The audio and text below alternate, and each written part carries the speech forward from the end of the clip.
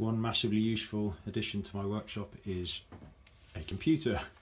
Um, so now I can see my model and future models will obviously this computer will be what also runs the runs the machine when it's finally finished um, but in the meantime it's uh, it's also very useful for me to be able to make some of the final parts without um, having to print everything out so one of the key things that's left mechanically um, is for the cable chain to to run I've got these aluminium angle um, equal angle that will then sit and serves two purposes. One, it protects the ball screw a bit and from fingers from getting caught in, in there, um, but also provides um, a surface for this cable chain to, to run along. The software I'm using here is Moment of Inspiration. I can't recommend it enough. It's fantastic and it's pretty inexpensive. Um, it's uh, a solid modelling tool um, and it's yeah very very good and it runs very smoothly even on this um, cheap PC that I've got off eBay to run the machine it's still uh, still running very uh, very smoothly even with this quite complicated model so right the uh, so I've got some uh, aluminium angle here so I'm going to start making the parts uh, for this to run along.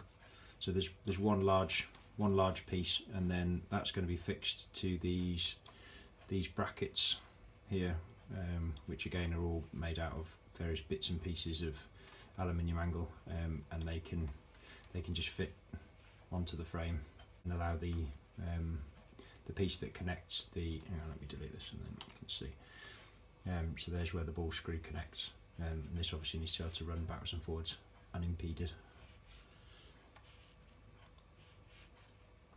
Which that will allow